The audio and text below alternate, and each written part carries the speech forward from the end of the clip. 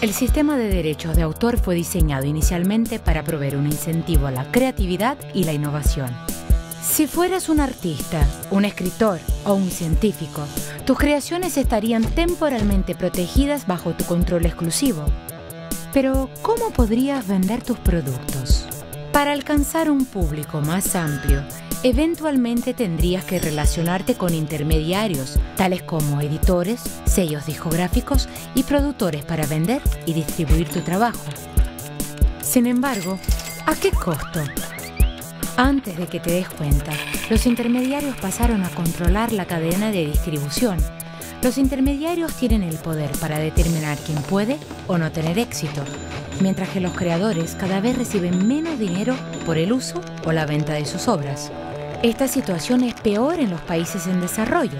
Los intermediarios globales se han apoderado de los mercados nacionales y restringen el contenido local.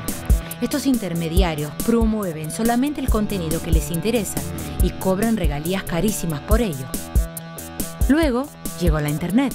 Internet ha achicado las brechas entre los creadores y los consumidores en todo el mundo, estimulando nuevos modelos de negocio para la creación, circulación y el comercio de productos artísticos, académicos y tecnológicos que no requieren la presencia de intermediarios. Internet ha proporcionado un significativo acceso a una gama diversa de bienes culturales que ahora están al alcance de todos. Ha establecido una nueva cultura creativa que promueve el contenido colaborativo, remixes y memes, y permitió compartir contenidos inusuales o minoritarios como nunca antes. Al poco tiempo, compartir se convirtió en una amenaza para el modelo de negocios de las industrias de la música, el cine y la edición. Por lo que estas industrias han estado utilizando su inmenso poder de lobby y presionando a los gobiernos para aprobar leyes que refuercen los derechos de autor online y extiendan en el tiempo la protección de los bienes distribuidos por ellas.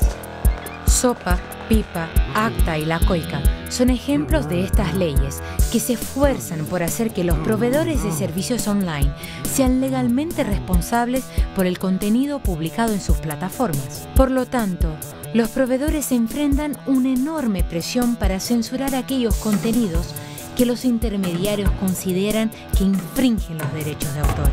Pero esos proveedores no tienen el interés ni la capacidad técnica para analizar dicho contenido.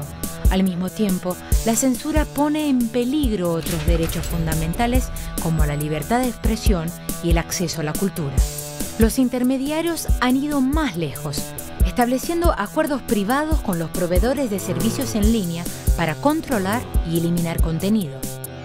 Esto tiene lugar todos los días, sin transparencia ni participación de entidades públicas o legales.